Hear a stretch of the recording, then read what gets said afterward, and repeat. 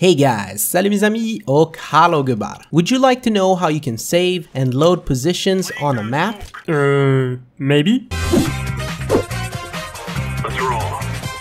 So in this video I'm going to show you two commands that can be used in different ways, but they need SV cheats 1. The commands are getPos, which saves your position, and setPos, which loads your position. So if I use the get command here, I'm to get the exact info of where I am right now. So now if I move away, all I need to do is copy this code and press enter, and it will teleport me back. Now there's two very good things about this. Number one, the information you get is always the same. This means that you can copy the info and put it inside a notepad for example, so you can use it anytime you want. Number 2. It also saves your angle from that position. This means that you can use it for practice with for example, grenades.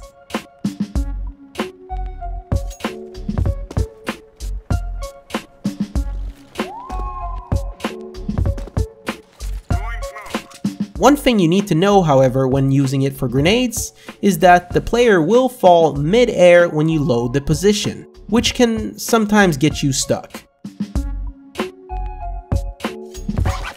And that sucks. But you can fix this very easily. I'm gonna give you an example. I want to smoke jungle. I'm where I need to be and I've used the get command. The third group of numbers represents the height, or you can call it the z-axis all you need to do is subtract this value with 50. So if you have for example 92, you change it to 42. Or if you have minus 40, you change it to minus 90.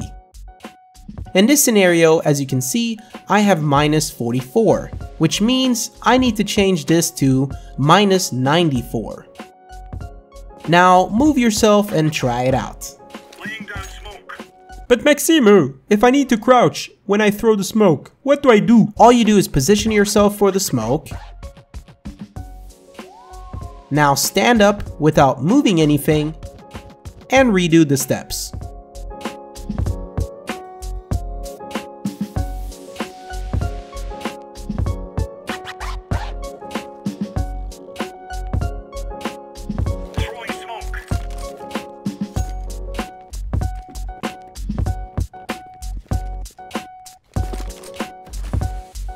All you need to do now is mention that the smoke requires you to crouch after you load the position.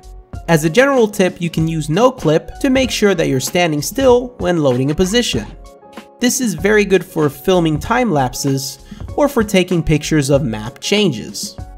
So if you're creating a map, for example, or reviewing changes, you can use the commands and combine them with these commands to make some really beautiful transitions. So anyway, now you know how to save and load a position on the map. So when you want to show someone a new smoke spot that you have found or something similar, you know how to do it. Hope this video helps. This was Maxim.